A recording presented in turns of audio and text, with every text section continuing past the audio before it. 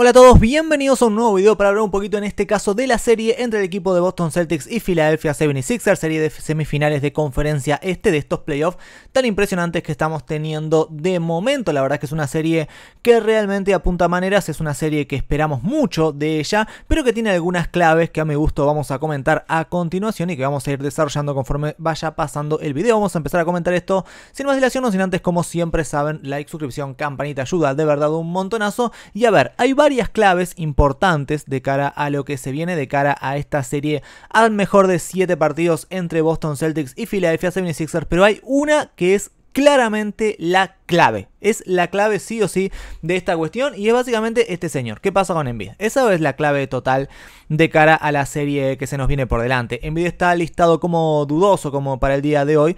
El primer partido de la serie se dice realmente desde medios afines a Filadelfia que es muy poco probable que Envid juegue los dos primeros partidos de dicha serie. Es muy poco factible. Y la verdad es que veremos a ver qué sucede con él. Si Envid no vuelve a lo largo de la serie, obviamente no hay serie. Es tan, tan simple como eso, tan sencillo como eso. Filadelfia no creo yo que tenga absolutamente ninguna chance de ganarle a Boston sin Joel Embiid. Es la realidad. Embiid es un jugador superlativo, seguramente sea el MVP.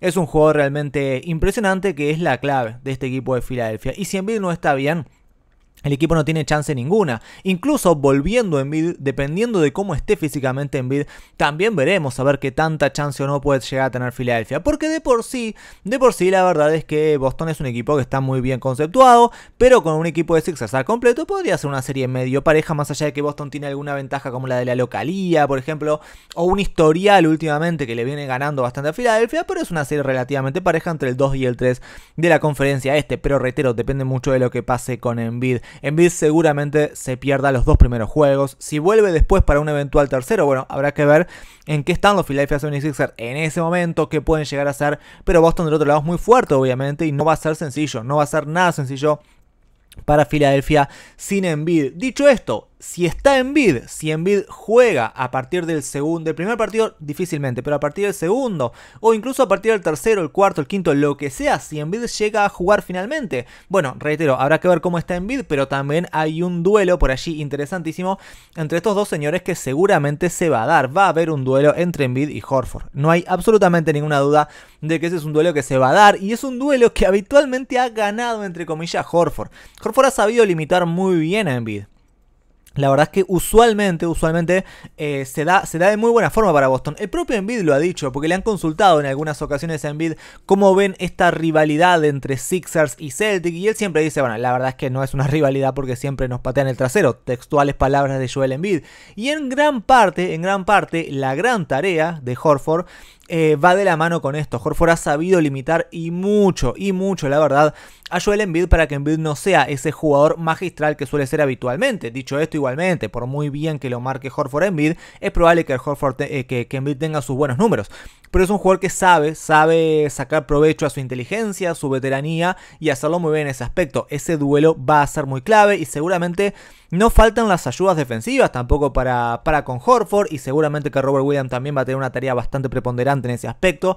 Hay que parar a Embiid. Obviamente hay que parar a Embiid.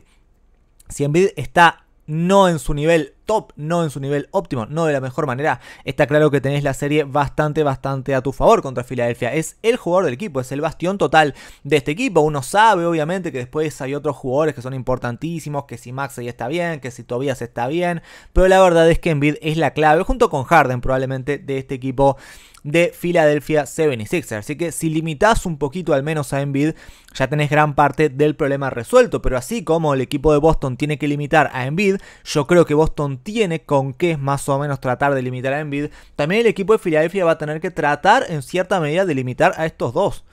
Lo de Jalen y Tatum a lo largo de los playoffs ha sido muy bueno, la verdad, ha sido fantástico. Y no sé yo cómo va a ser este equipo de, de Filadelfia para parar a estos dos monstruos. La verdad que no lo tengo claro, porque a ver, en materia perimetral quizás el equipo de Filadelfia tiene para tirarle a Jalen, pongamos por caso, a Maxey, tienen a Harden, o sea, alguno de ellos va a ser el que va a tener que marcar a, a. Con Tatum puede llegar el PJ, PJ Tucker y puede llegar a hacer una un poquito mejor labor, aunque a la edad de PJ Tucker no sé tampoco si le va a dar para defender a Tatum una serie a 7 partidos, 40 minutos por partido. No lo tengo claro tampoco, la verdad. Es el punto que más curiosidad me genera. Está claro que la pintura, a la hora de penetrar y eso, lo los va a estar esperando en bid, que no es poca cosa. Pero si Horford se abre un poquito, que yo creo que eso es lo que va a pasar, porque Horford es un jugador que tiene, que tiene muchas virtudes, no es solo que juega bajo el aro o pues estilo, no es un pivot tan tradicional, por más de que defiende muy bien la pintura y rebotea muy bien, es un tipo que tranquilamente se puede abrir y tirar de tres puntos y lo hace de muy buena manera. Entonces, ¿qué va a hacer? ¿Qué va a hacer el equipo de Filadelfia cuando alguno de estos dos penetre? ¿Va a, en vida a ir a buscar a, Horford en este caso, a seguirlo un poquito? ¿Va a doble marcar a alguno de estos dos y van a dejar a Horford libre? Porque Boston además es un equipo que mueve muy bien la pelota, que busca el triple con gran facilidad y con un movimiento muy veloz. Es todo un tema. No sé yo cómo va a ser Filadelfia, reitero, para parar a estos dos. Porque creo, me da a mí la sensación de que Boston tiene un equipo más versátil que Filadelfia. En Boston todos atacan muy bien y todos defienden muy bien. Porque Smart defiende muy bien, porque White defiende muy bien. Obviamente que estos dos también defienden muy bien. Horford defiende muy bien. Robert Williams defiende muy bien. La verdad que todos son buenos defensivamente. En Filadelfia no. En Filadelfia tenés algunos jugadores que hacen algunas cosas muy bien y otros que hacen otras cosas muy bien. Entonces a partir de esto se me complica a mí, se me dificulta un poco ver cómo Filadelfia puede hacer defensivamente para parar a Jalen y Tatum. No sé si podrán, la verdad. No sé si podrán del todo. Por otra parte, otra muy buena dupla que vamos a tener por allí también es la de estos dos.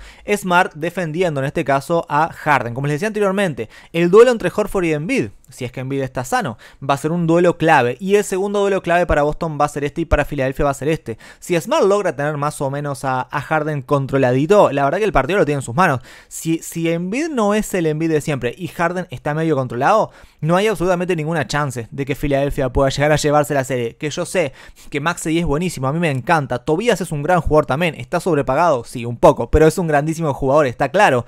Pero sí que es cierto que eh, por Harden pasa la mayor parte del poder de este equipo. Y por Harden pasa, perdón, por Embiid pasa el poder del equipo y por Harden pasa probablemente la inteligencia del equipo, el armado de juego. La facilidad ofensiva, digamos que puede llegar a tener en mayor medida Filadelfia, pasa por las manos de Harden. Entonces será interesante ver cómo hace Harden para salir de Marcus Smart, uno de los mejores, si no el mejor probablemente, defensor perimetral de toda la NBA. Va a ser toda una cuestión, ¿no? Toda una cuestión. Por eso les digo, me parece que Boston tiene más gente para tirarle defensivamente a Filadelfia de la que Filadelfia tiene para tirarle a Boston. Me da a mí al menos la sensación, pero este duelo va a ser clave. Harden va a tener que estar tranquilo, va a tener que estar al 100%, va a tener que estar calmado, va a tener que estar realmente muy listo para no caer en el juego de Smart, para no frustrarse si alguna pelota la pierde, si algún pase no sale de la mejor manera, si en alguna ofensiva no sale la situación de manera idónea. La verdad es que Harden va a tener que estar muy tranquilo y va a tener que hacer un gran juego para que esto salga adelante. De lo contrario, también, reitero, lo tiene muy pero que muy difícil el equipo de Filadelfia de cara a lo que se viene.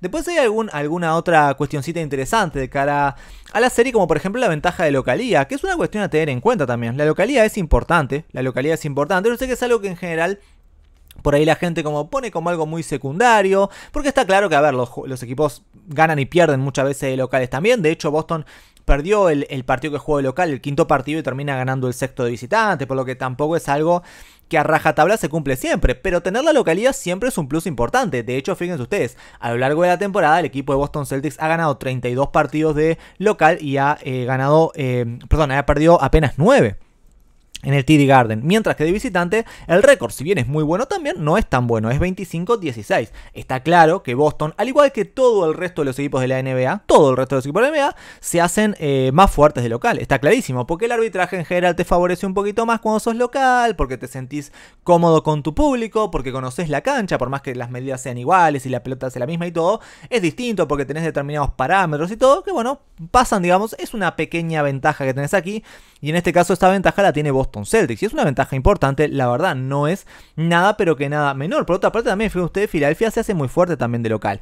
29-2 al récord, por ejemplo, de local, 25-16 también como visitante. O sea, juega mucho mejor Filadelfia de local que de visitante. Por eso va a ser toda una cuestión de cara a lo que se viene sin duda alguna. Veremos a ver qué sucede a lo largo de esta serie y si Boston se puede hacer fuerte de local, que reitero, en la serie contra Atlanta, de a ratitos por ahí le costó un poquito. Pero sí que es cierto que es un plus que tiene Boston que podrá aprovecharlo de cara a lo que se viene. Si Boston puede aprovechar esos primeros dos juegos, esos primeros dos partidos, en los que muy probablemente Embiid no esté y será Boston local, si logra aprovechar esos dos juegos, la verdad que la serie se le abre completamente, tiene toda la serie a su favor, ¿no? Como para tratar de robar uno en Filadelfia nomás y después cerrar en casa, por más que esté en vida o lo que sea, es muy complejo dar vuelta una situación así. Así que veremos si Boston puede pegar primero y hacerlo de buena forma de aquí en más. Por otra parte, otro duelo interesante que hay allí es el duelo de entrenadores.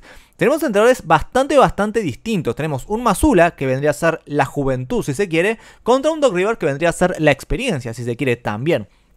La cuestión es que en este caso la experiencia de Doc Rivers no sé yo si es la mejor experiencia, porque ha tenido experiencias, podríamos decir, un poco traumáticas quizás, llegado el caso, porque la verdad es que ha dejado ir muchas series ganando 3 a 1, ha tenido sus papelones, mm, años sí y años también. Es la realidad, o sea, los últimos años de Doc Rivers viene de papelón tras papelón, que si la burbuja iba 3 a 1 y lo terminan dando vuelta, que si en Clipper ya de por sí tenía ese historial y también se lo daban vuelta, que si el año anterior con el equipo de Atlanta Hawks que también se lo da vuelta con Ben Simmons y aquella situación, o sea, la verdad es que Doc Rivers tiene un historial que es medio complicado, como digo, la experiencia de él, tiene más experiencia sí, pero no sé si es buena la experiencia de Rivers, pero sí que es cierto que tiene muchos más partidos jugados de esta índole, ¿no? Dicho esto, son entrenadores muy diferentes, muy diferentes, Masura es un entrenador mucho más técnico, mucho más táctico si se quiere, es un entrenador que le pone mucho más énfasis a lo que es el juego. Doc Rivers es distinto. Doc Rivers es más un motivador, si se quiere. Es más de hacer grupo. Es más de que el equipo, bueno, juegue a partir de sus estrellas. No digo que no le preste atención a lo táctico, porque por supuesto que lo hace.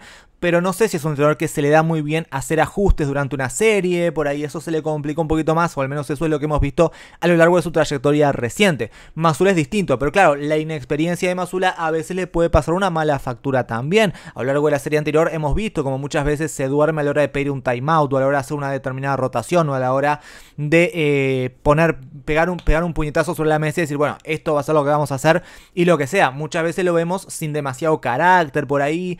Son diferentes, son distintos, la verdad. En este caso va a ser un duelo de técnicos interesante. No lo hemos visto mucho a Masula más allá de la serie anterior contra Tanta, que en algún momento dejó alguna duda, en algún momento no.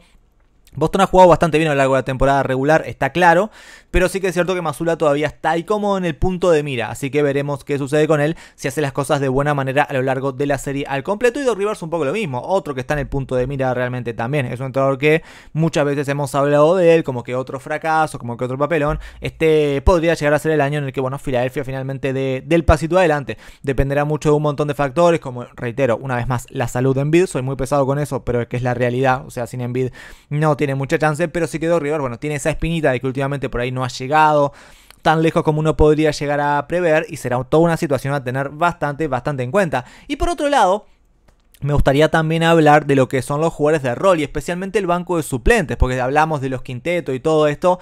La cuestión es la siguiente para mi gusto. Boston en el banco de suplentes tiene unas bajo la manga que Filadelfia creo que también no tiene y esa también es una cuestión a favor del equipo de los Celtics. Boston tiene un Brogdon que es espectacular. Lo de Brogdon a lo largo de esta temporada ha sido maravilloso. Realmente ha sido maravilloso, espectacular. Ha sido el sexto hombre del año, ni más ni menos. O sea, promediando una cantidad de puntos eh, increíbles, junto con un montón de asistencias, junto con una solidez brutal, porque realmente Brogdon es un jugador que no es el típico sexto hombre al estilo, no sé, podemos decir Emmanuel Quickly o Jordan Poole o, no sé, anteriormente podemos decir Lou Williams o Crawford o algo por el estilo. No es ese típico sexto hombre que te entra desde el banco y te revoluciona un partido para bien o para mal. No es ese jugador típico eléctrico que muchas veces te puede llegar a ser capaz de meterte 30 puntos, pero al día partido siguiente te mete 3. No, es un jugador Brogdon que siempre juega de igual manera. Vos sabés que con Brogdon en el banco vas a tener seguramente 15, 16 puntos, algún partido serán 20, algún partido serán 12, pero siempre por ahí vas a andar, siempre con porcentajes bastante correctos, siempre asistiendo bien, siempre perdiendo pocas pelotas.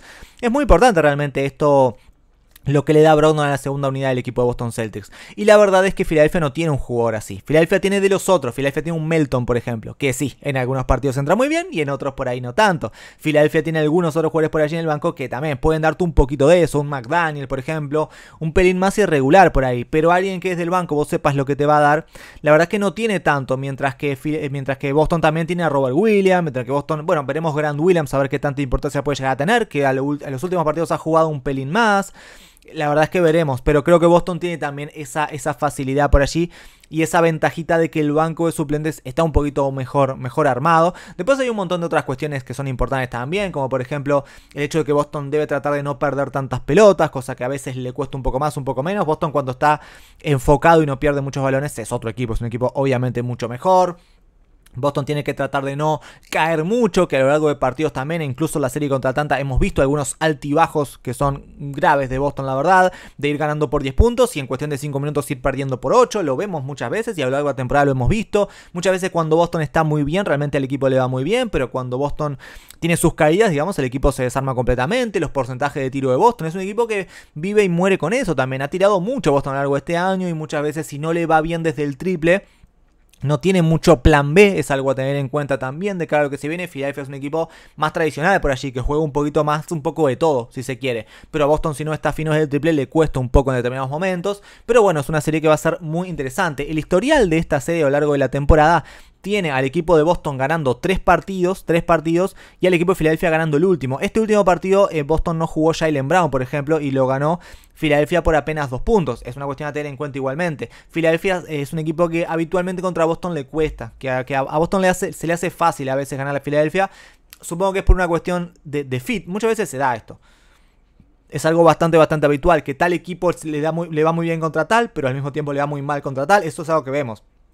Lo hemos visto infinidad de veces y, se ve muy habitualmente, porque depende de los jugadores que tengas de un lado y del otro, ¿no? Pero bueno, en este caso Boston tiene una leve ventajita contra, contra el equipo de Filadelfia, al fin y al cabo, en el historial reciente, y, tiene una ventajita que lo, saben los propios jugadores, el propio Julian Bill, como les digo, lo dijo en algunas oportunidades. Así que veremos qué sucede. Yo creo que en la serie Boston es favorito. Yo creo que Boston es favorito, es mejor equipo de Filadelfia, es más completo y es más versátil.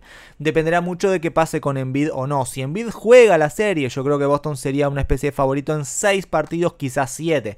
Si Embiid no juega, yo creo que Boston puede cerrar la serie incluso en 4 partidos o en 5 como mucho, dependiendo de lo que pase. Y bueno, si Embiid vuelve a mitad de la serie, dependerá mucho de muchos factores.